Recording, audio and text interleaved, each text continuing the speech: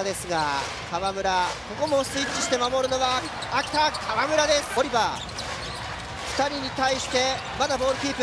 須藤古川がチェックに行ったが須藤のスリーようやく来ました今日、えまあああいったシュートっていうのは横浜は打たせてもいいシュートの部類に入ってる。横浜のオフェンスリバウンドで今苦しんでいるのでそこをはい。取っていきたいですーよね、えー川村スリーできたザックを。川森。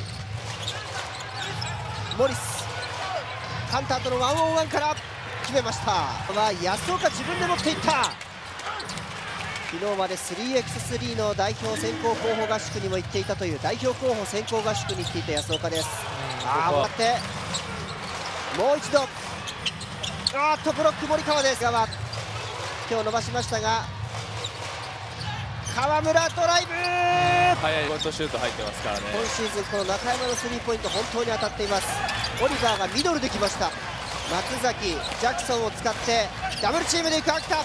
空いた松崎スリーポイント。あのスリーポイントシュートがもう少し入っていれば秋田の得点はもう少しグッと伸びると思うんですけどね、はいジャクソンオリバーがここまで来ました。ポストアップからまだ持っていくダブルチームに行った。秋田外が空いた。森川。スイッチしたまたキット高さのあるキットがつく形。バウンドパスから今度はオリバーの合わせ森川川村に託して川村中へ。オリバージャクソン。すごいこれがスリーポイント今日2本目成功。2分の2オリバー今度は自分でいきます。ここはマンツーマンで守る秋田森川。岡山。多田が受けて。ですよね。ただ多田はこの守備でも今日頑張っています。松崎パスダミーから自分で決める。アウダここで松崎からアウダワンハンドダンク炸裂。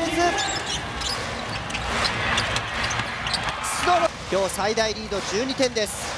今シーズンはこの第4クォーターに弱いというところがあった秋田ですが終盤引き離しています。いずれもキット選手のタフショットと同じで今の古川選手も難しいシュートだったとは思います。ジャクソン